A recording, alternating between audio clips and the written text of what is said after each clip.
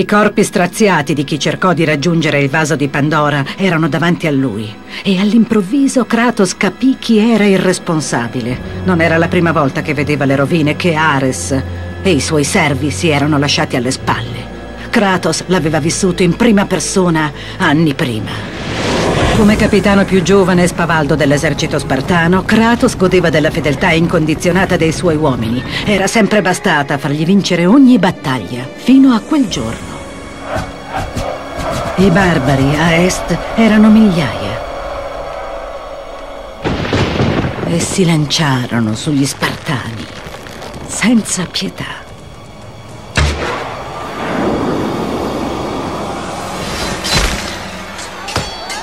La battaglia durò poche ore.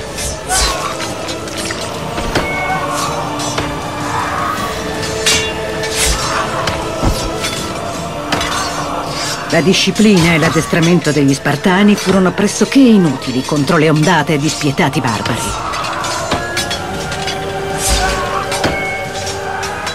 I soldati vennero decimati, mentre il loro giovane capitano vedeva andare in fumo la sua carriera e la sua vita. Ma per Kratos la vittoria valeva più di ogni cosa, anche della sua anima. Ares! Distruggi i miei nemici e la mia vita sarà tua!